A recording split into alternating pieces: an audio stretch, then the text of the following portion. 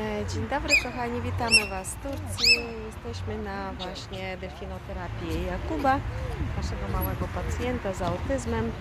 Chciałabym Wam przypomnieć, e, co należy zrobić, żeby dobrze przygotować dziecko do delfinoterapii. Ponieważ jak widzicie sami, delfinoterapia odbywa się w basenie, w wodzie. No my delfina nie wyjmiemy, tylko my do niego e, przychodzimy, więc bardzo ważne jest, żebyście oswoili najpierw Wasze dziecko z wodą. Mamy wtedy o wiele szybciej, możemy zadziałać delfin również, jeżeli dziecko się cieszy z pobytu w wodzie. Tak jak tutaj nasz pacjent Kuba, jak widzicie, bardzo się cieszy, jest zadowolony.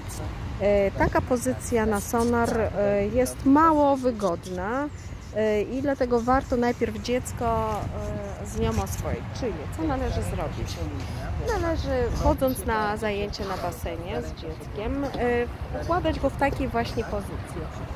E, Drugi ważny element e, delfinoterapii, żeby ona przebiegała sprawnie i tak, żebyśmy jak najszybciej przeszli przez ten okres adaptacji, należy dziecko oswoić z wizerunkiem delfina.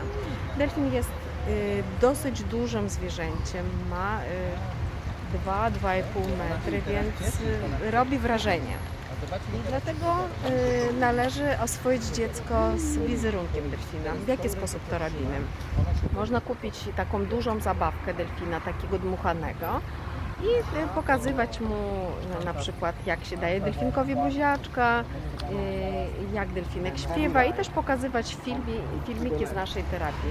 Także y, zapraszamy na delfinoterapię i proponujemy pamiętać, że sukces terapii też zależy od tego, na ile dobrze przygotujecie dziecko do tej terapii.